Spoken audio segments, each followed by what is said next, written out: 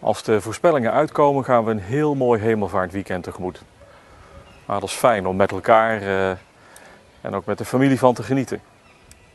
En dat kan ook, want het perspectief dat we hebben op weg naar 1 juni is, is ook goed.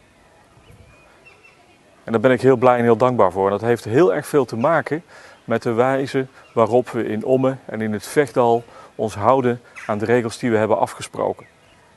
Afstand houden, drukte vermijden, handen goed wassen en geen handen geven.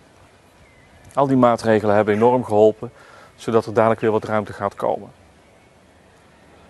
In dat hemelvaartweekend is het wel belangrijk om ons te houden aan de maatregelen die zijn afgesproken.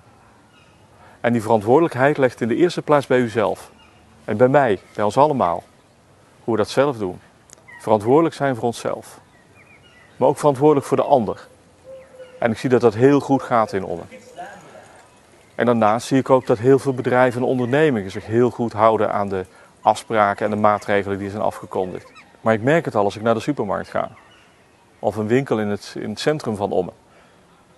Hoe goed die ondernemers rekening houden met de maatregelen die zijn afgekondigd, zodat u veilig boodschappen kunt doen. Vaak in overleg met brancheverenigingen. Gaat heel goed. En ik roep u op om dat ook te blijven doen. Houd u aan de regels, want dat is belangrijk. Om ook snel meer vrijheid te kunnen krijgen en meer bewegingsruimte. Maar ik roep u ook op om dat zo te blijven doen. En om u te houden aan de maatregelen. Zodat we ook niet hoeven te handhaven. We doen het met elkaar en we doen het voor elkaar. En samen komen we door de coronacrisis heen.